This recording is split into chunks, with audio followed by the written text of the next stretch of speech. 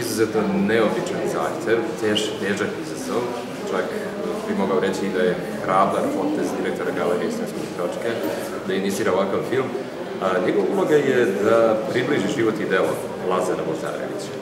Koliko je film u tome uspeo, to će reći publika večeras na otvaranju izložbe, ali da nije bilo Marije, Marije Vukajlović, istoričar umetnosti koja je radila kao stručni saradnik, film sigurno ne bi imao ovu dimenziju, kao i da se u filmu nije pojavila Ivana, čerka Lazara Lazarevića, film ne bi imao ovu A to je jedna forma dramsko-dokumentarnog filma, a, gde se prepliče tokom, a, tokom filma život i a, situacija na njegovom planu slikarskom.